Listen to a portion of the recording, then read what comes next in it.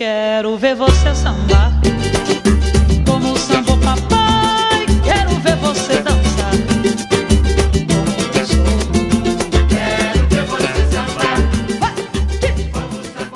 E eu me lembro que você me disse que esse, um, o produtor, não me lembro o nome dele, da Copacabana, falou que você devia fazer um trabalho mais popular, diferente do que você fazia na O Poligrama. diretor, não, o presidente da gravadora, Adiel de Carvalho, falecido Uhum. Adiel de Carvalho, virou para mim assim, esse, eu conheço todo o seu trabalho, desde o início, só que eu acho que botam muitas orquestrações, muita coisa, não sei o que e tal. Você poderia fazer esse trabalho que você sempre fez, mas faz uma coisa com, com, com menos instrumentos e vamos ver o que acontece. Aí eu chamei o Alceu Maia. E foi uma E sorte gente fez. porque foi na mesma época que estourou o chamado pagode, né? O pagode raiz, com o Zeca Pagodinho, Jovelina e o, o Almir Neto. E, o grupo Fundo de Quintal, o que grupo já de estava. quintal, já que já aí, né? vinha, mas que estourou, né? Que, que Exatamente. o boom foi aquele ano, 85, Foi. 86. E qual é a, e como é que você se integrou com essas pessoas, nesse, com esses outros colegas que também na mesma época, que é quase foi, foi quase como um grupo, mesmo que não fosse. Eu não era frequentadora do cacique, mas eu sabia que acontecia as coisas lá, entendeu? Porque tem gente que vai toda semana, que Claro. não era isso. Mas a gente foi lá, conheceu e tal. Tanto é que foi feita a música, isso é fundo de quintal. É, né? a pri- é a primeira vez que eu me lembro assim muito de você cantando. É. O que é isso, meu amor? Venha me dizer. Isso é fundo de quintal. É pagode pra valer. Eu falei pra você. O que é isso, meu amor? Venha me dizer. Isso é fundo de quintal. Vocês eram amigos nessa época, mesmo sendo de tribos diferentes, vocês Não, ficaram gente, amigos? todo, não, todo mundo se, se conhecia, Porque você se porque na minha, né? minha memória a- afetiva, é, é, você, pelo menos para a imprensa, era um, era um balaio só, assim. Todo mundo Não, botou você claro, como é porque- os, os novos pagodeiros. Era, era Exatamente. Né? E as suas canções feministas? Ou, assim, você já, desde a época do Ensopadinho, você já falava desse cotidiano das mulheres e tal, de fazer a coisa para os homens, não sei o quê. E aí você faz Maria de um Só João, que é o totalmente... Que, mas Maria de São João já foi um presente do Arlindo e do Franco para É, mim. que você já veio, cantava. que veio também no, no disco da Copacabana. É. Jura ser Maria de um só João, ai que servidão, ai que servidão. Porque eu me lembro que a, a Beth Carvalho, ela disse que, que achava os sambas muito machistas e que ela começou a pedir para os compositores para tentar fazer uma coisa diferente. Aí que deram olho por olho para ela, né? Sim, sim. É, que falava, é, se, quiser, se tentar me enganar, bota as barbas de molho, por isso dente por dente, Dente olho por olho. E aí você também devia ter essa preocupação, né? Que você sempre foi muito, né, muito esperta com essas coisas, você não, não devia querer gravar aqueles sambas muito machistas que tinham, né? Porque o meio do samba sempre foi muito masculino, né, Alice? Sempre, sempre foi. Falando da negritude, você, você gravou o Olodum Força Divina quando o Olodum estava surgindo, assim, despontando, Não né? tinha nem, nem, nem banda, era só percussão e voz. Aham. O, o fotógrafo, meu amigo Januário Garcia, falou: Leci, você tem que ouvir um pessoal da Bahia que está fazendo um trabalho maravilhoso, o Olodum. Eles fazem um trabalho lá social, enfim, e tal, o João Jorge. E falou desse pessoal. Falei, legal. E ele me deu de presente o LP do Olodum. Eu gostei demais. É, eu clamo Lodum Pelourinho. E faraó. É, pirâmide da base do Egito. E faraó. É, eu clamo Lodum Pelourinho. E faraó. É, que mara, mara, mara, maravilha. Eriba. Egito, Egito. É, que mara, mara, mara. Um belo dia, eu estou tomando café no Hotel Jandaia, tá? Entra uma rapaziada, uns cinco ou seis rapazes, tudo de, de short assim, curtinho e tal, sandália havaiana no pé e tal. Aí eles olharam assim, você é Lessi? Eu digo, sou. Não, mas a gente gosta de você, papai vadiou, toca demais lá em Salvador. Que é uma música do Rod, do Jacarezinho. E papai vadiou, mamãe gosta. Essa música é de Salvador. Bom, bom. E eles me conheceram naquele dia, assim. No dia seguinte, o Betão, Betão e Tonho Matéria falaram: a gente queria mostrar uma música para você. E em cima do móvel do quarto, eles cantaram, né? E Supremo Maior da divindade da natureza. É tudo tempo, tudo, tudo, fosse abalar. Eu gostei de que vai, vai, que vai. Falei, nossa, que coisa legal. Me apaixonei pela música. Cantaram assim, cru. Eu mandei uma fita para um amigo meu lá em Salvador. Esse amigo fez o favor de começar a espalhar a música na- nas rádios. Xuxa estava no auge. Elas estavam vindo do Nordeste e passaram em, em, em Ilhéus. A Marlene Matos é que era produtora dela na época. Tocou na, na, na barraquinha lá da, da praia. Ela falou, nossa, que música linda, não sei o quê. Aí falou, não, Leci Brandão. Ela, pô, Leci Brandão gravou. Eu quero Leci no programa. A Xuxa naquele tempo tinha um negócio de uma nave que ele entrava e saía. Quando chegava no final do programa, ela entrava na nave que vai, vai, que vai, vai. O José Sarney, que era presidente na época, ia anunciar o negócio do, do, do- do cruzeiro, do cruzado, ia ter uma modificação na moeda. Ia anunciar em janeiro de 89, tá? Nesta semana, eu tinha ido para Salvador com o povo do Fantástico. Meu filho, a música foi ao ar no dia que o Sarney ia dar essa notícia para o Brasil inteiro. Ou seja, Todo a música entrou no Fantástico. É. Ogum, né? Vai,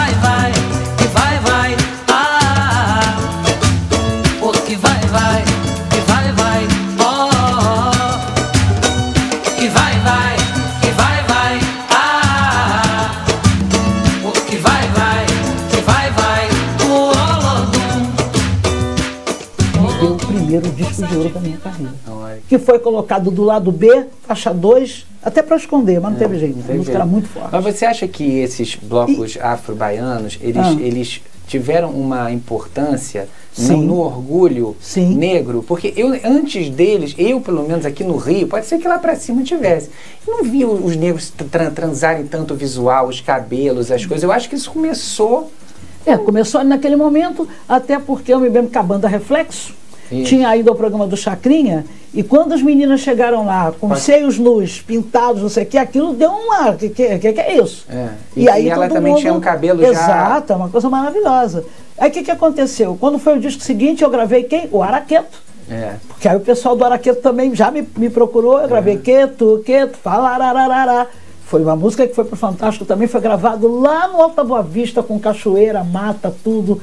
Né? O pessoal da, da, da, da, da- da coreografia dizia assim, ou até que enfim que apareceu uma cantora que está botando os negros para trabalhar agora nos clipes, porque não tinha. É, né? então, é, exatamente. A nossa etnia começou a ser Mais mostrada de uma forma muito. E sabe, você, o que, que você está achando? forte. E você que tem toda essa história de vida, você acha que a gente está agora num momento. Eu, eu, pela gente, sente que, a gente- que tem umas questões urgentes, aqui a questão é, da- das mulheres, a questão dos negros, a questão dos trans, né? São três questões que, que ficavam de batata e de repente, né?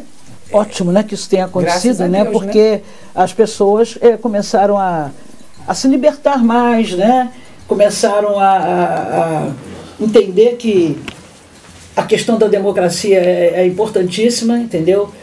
A vo- outra questão da diversidade, né? Hum, a questão é. da diversidade, ela começou a ser encarada pelo país como uma coisa que tem que ter muito respeito e muito reconhecimento e espaço e inclusão para tudo isso, porque todos nós somos seres humanos. Claro. Afinal de contas, cada um tem a sua, o seu caminho, a sua escolha, né? Agora, Alice, mas uma- tem que ter respeito por essa Uma coisa polêmica que pessoa. você vai poder falar melhor que eu. Assim, a, a música brasileira sempre teve uma exaltação à figura da mulata, né? É, músicas lindas foram feitas por Ataúfo, Caim, tantas pessoas. E de repente essa palavra hoje é uma, é uma palavra que ficou politicamente incorreta, como se fosse uma coisa menor. Sim. Você não acha que, assim, também a nossa mestiçagem é bonita também, assim, o mulato? Porque o mulato eu aprendi no colégio que era mistura de branco com preto, né? E, e eu sempre me senti até mulato honorário, porque eu sempre achei linda essa, essa mistura de, de, de, né, de, de cores. Eu entendo que o movimento acha que isso pode ser um eufemismo. É, negócio da mula, né? É.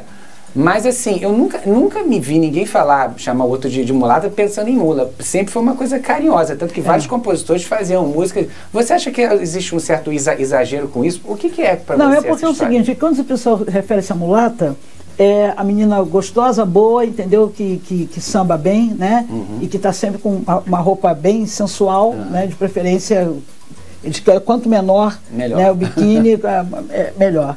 Tanto é que muita gente pergunta, ah, o seu show não tem mulata? Eu digo, não, tem eu que sou negra. Entendeu? Eu sempre falo. Inclusive, quando eu entrei para a Assembleia, eu, eu fui entrevistada no primeiro de maio, que eu apareci na condição de, de deputada, né? Porque eu sempre digo, eu sou artista e estou deputada, eu não Ah, sou é, deputada. claro. perguntaram para mim, como é que está o samba lá no gabinete? Eu falei, não, no gabinete não tem samba. Lá a gente, uhum. a gente trabalha para construir projetos de lei e tal. Né? Uhum. Isso, esse é o nosso trabalho. Uh, e os malandros? Eu que malandros?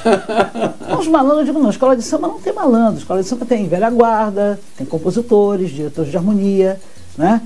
É, é isso que, que, que, que tem nas escolas. E as mulatas? Eu digo, não, não temos mulatas. Eu tenho algumas negras no gabinete, inclusive eu sou uma delas e tal. Aí acabou logo. Acabou, a, acabou a entrevista. Ah, então é porque mais nesse é sempre uma coisa, sabe, mais para pejorativa. Porque assim, é, a mulher negra, para ela é, é, namorar um homem branco, né? E a família dele aceitar o casamento, assim, de forma simples, isso é muito difícil, né? Mas a mulata pode ir sambar na casa deles quando tem uma festa. Entendeu? Aí é interessante ter a mulata na sala lá, sambando, ter a mulata, sabe, requebrando, depois sentando no colo do cara Entendi. quando tem uma festa em clube, e aí é então, bacana. Então, então é porque esse nome fica associado Exa a uma dançarina ou a uma mulher. Ah, agora que eu entendi, que eu nunca entendi isso direito. Entendeu? Essa é a questão. E por isso o movimento negro grita, né? O pessoal. Se bem que eu quero deixar muito claro para você que eu nunca pertenci ao movimento negro, tá? Entendi. Nunca, nunca fui do movimento negro. Eu conheço muitas pessoas do movimento negro, mas não sou, porque é, eu falei de negros e de negras, enfim, sem pertencer ao movimento. Eu sempre observei as coisas, tanto é que a música Talento de Verdade, Mulher, Deixa de Bandeira, Mulata nunca foi uma profissão. Porque uma vez eu cheguei para uma pessoa e perguntei, você trabalha em que coisa? Eu sou mulata. Eu digo, não, isso não. A profissão mulata não aceito. Aí, aí surgiu um samba. Entendi. Entendeu? Deixa de bandeira, mulata nunca foi uma profissão. Mucama, você é a musa do canto da minha nação. Como é que você tem estômago para trabalhar como, de, como deputada? No país do jeito que está, né, assim, desses últimos anos, que, que as coisas estão cada vez mais difíceis. Eu sei que você é uma pessoa séria, que você luta principalmente pelas minorias aqui no seu mandato, né, Com que já tem, que já tá, você já está desde 2000. Dois, eu fui eleita em 2010. Com, e com 85 mil 86 votos. 86 mil alguma coisa. 86 mil e tantos votos. E depois foi reeleita, né? 14, fui reeleita.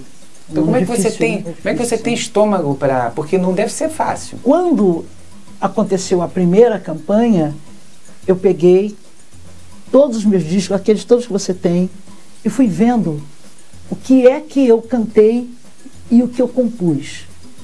Por quem eu lutei, para quem eu falei. E fui escrevendo no papel todas as minhas lutas. Eu falei, isso aqui vai ser a minha plataforma de trabalho. Eu quero ser candidata já, já que tem que ser candidato, o povo quer que eu vá, movimentos sociais tal, movimento negro principalmente, tal, pessoal do samba, né? Não, assim tem que ir. O pessoal diz assim, não, você sempre lutou por todo mundo, você é política assim, você tem que ir lá para dentro, tem que ir para lá para. Tudo bem. Mas antes, eu fui lá na casa de rei das ervas e fui saber o que, que era isso. Né? Manilza jogou e disse, olha, meu filho, Ogum está lhe dando outro desafio. Ele disse que você ia ter que sair do Brasil, como você saiu, você foi lá para Luanda, para Angola, né?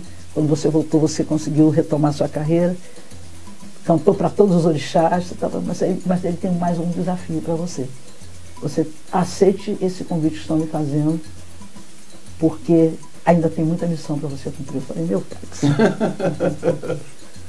Então ele deu a ordem, né? Uhum. E eu fui para eu, eu fui para luta. Estou na trincheira aqui, né? Hum. Nessas e o que, que você já conseguiu fazer nesses seis anos que você se orgulha aqui na Assembleia? Ah, eu, eu me orgulho de ter, por exemplo, feito coisas em relação à intolerância religiosa. Por exemplo, a gente hoje tem aqui o, o dia de Ogum, tem o dia de Emanjá, tem o dia das tias baianas, né? Da, da, das escolas de samba. Tem é, a questão de você ter mais delegacias né, para que todos as, as, as, os LGBTs possam ter onde denunciar, principalmente os que são do interior, para que se façam, entendeu, outras uhum. delegacias em outros lugares. Tem a, a, questão que eu não consegui fazer, que era a denúncia de racismo, tinha que ter um 0800, qualquer ato racista você podia denunciar, mas aí é, foi dito que ele foi aprovado por unanimidade aqui na casa, só não foi sancionado pelo governador, porque quê? Ia ficar muito caro colocar placas nos lugares públicos, dizendo, sabe, uhum. denunciando racismo. Um orgulho que eu tenho, isso é orgulho mesmo. Quantos universitários que estão fazendo TCC nos últimos três anos vieram aqui fazer o TCC com a minha história. Ai. Isso é uma coisa que constantemente, aliás, eu estou devendo um essa semana, vou fazer semana que vem. Eles vêm para cá, vem, vem estudante também, sabe, de- do segundo grau, para fazer eh, entrevista comigo. Eu pergunto, mas por que, que você está fazendo? Ah, porque a gente estava vendo, assim, na- sabe, da política, você cuida de tantas coisas e tal, e a gente acha que você tem alguma coisa legal para dizer. O que eu sei é que tudo que eu sou simplesmente é o resultado das coisas que mamãe me ensinou, das coisas que mamãe me ensinou, das coisas que mamãe me ensinou, das coisas que mamãe me ensinou, das coisas que mamãe me ensinou. A gente sabe que 30 anos pra cá, o Jabá passou a dominar é, né, as emissoras de rádio. Quando é que alguém vai ter coragem de enfrentar isso? Porque é um, é um tabu, né? Eu, eu, eu não vejo ninguém tomar uma iniciativa assim para ir contra isso, porque eu acho isso criminoso com a nossa É música. criminoso, sim. Eu acho que é, o governo federal tinha que também Fiscalizar fazer, mais. porque é concessão. É. Não é? A concessão, as emissoras de rádio. Agora, Porque é teria que ter uma lei obrigando, sim, a tocar a música popular brasileira no geral. Não é ficar tocando só o negocinho da Modinha, modinha, é. entendeu? Porque a modinha junta TV com rádio, É. porque a TV também É, tem essa lógico que responsabilidade, e o povo, sabe, acaba indo nessa E onda. fica, às vezes, uma coisa muito infantil, né? A, a te- temática da música massificada hoje, ela é muito infantil, muito adolescente, muito, muito primária. Existem donos da mídia, né? Uhum. da mídia atual, que devem receber um bom dinheiro né? para poder determinar o que vai tocar. Não é sempre o que o povo quer, porque veja bem, o povo não tem a, a escolha de chegar e dizer, não, quer tocar qualquer. Não, toca, joga no ouvido dele. É, a aquilo, própria música dez vezes brasileira, por dia. é, a música brasileira criativa está jogada às traves. 15 vezes por dia você escuta aquilo, você acaba ficando com aquilo na É, cabeça. exatamente. E tem um detalhe: você não guarda mais sucesso nenhum. Porque essa gente estoura, vai nos programas de TV, não sei o que e tal, blá, blá, blá. Um ano depois você pergunta, canta a música do fulano de tal, ninguém sabe. Agora, eu acho uma, uma covardia que é feita com os, os grandes cantores, entendeu? Os grandes compositores, que você, quando conversa, você cita aí pessoas, pessoas maravilhosas e tal, que já se foram e tal, não sei o quê, mas pô, as, pe- as pessoas poderiam ser executadas nos, nos programas, por que não? Pois é, e Né? até Por que, que não se faz uma programação novos, é. dando um determinado horário, não é? Porque Até para o próprio semana, jovem né? ter, outra, ter também outras Claro, referências para poder fazer uma música melhor, né? Com certeza.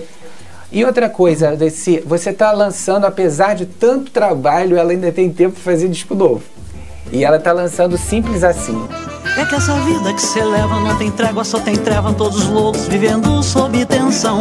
Não tem arrego, malandragem, cobra em cima e você tem que estar no clima pra fazer sua função. Na ilusão de ter mulheres, carros, joias e de ser mais conhecido do que um galã de novela. Você se droga, põe a máscara e empunha suas armas e se transforma no super-herói da favela. O G5 ele é de São João de Meriti e fez né, um samba para aquele menino que está mandando no movimento. Ele não é o Zé do Caroço, ele é uma outra coisa. Ele é o super-herói da favela. Eu pergunto para ele qual, era, o- qual é o projeto dele. Papo reto, qual é o teu projeto? Entendeu? Porque ele corre risco de vida todo dia, toda hora. E ele poderia estar fazendo uma outra coisa. E das suas, qual, que você podia dar uma, uma palhinha pra gente, das novas? das novas, é, com as graças de Deus, porque é uma coisa bem, bem simples mesmo, né? Veja É. na música de amor, né? Um amor tem que ser com as graças de Deus. Se não for, não vai durar. Vai fazer chorar, pode até enlouquecer. Ser amor tem que ter bem querer. São problemas meus que venha um amor, mas que seja com as graças de Deus. Ah, é romântico, coração romântico, hein? e para encerrar, Alessi, o que é ser cidadã brasileira hoje? ser acima de tudo corajosa, guerreira, acreditar na liberdade, acreditar que é possível chegar, é possível vencer e entender que cidadania é ter direitos, cidadania é respeitar, cidadania também é ser feliz. Ninguém nasceu para sofrer. As pessoas nasceram para serem felizes. E eu acredito. Eu continuo acreditando na felicidade, apesar de tudo. O povo brasileiro precisa ser feliz. Ele é um povo lindo, é um povo maravilhoso e é um povo trabalhador. Só não tem ainda a grande oportunidade que sempre mereceu ter. Mas esse dia vai chegar. Querida, um prazer muito grande. Muito obrigado, tá? Muito axé pra você. Axé. Viu? Muito axé pra você. Hey, cantor, a força da dureza não cala o cantor. Hey, cantor, hey, cantor, a força da dureza não cala